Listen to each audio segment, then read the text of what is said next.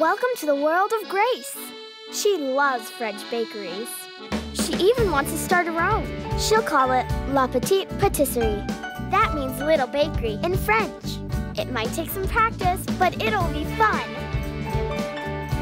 Make your biggest ideas come to life with Grace Thomas, the new girl of the year, only from American Girl. Doll comes as shown, dolls, apparel, and accessories each sold separately, batteries not included.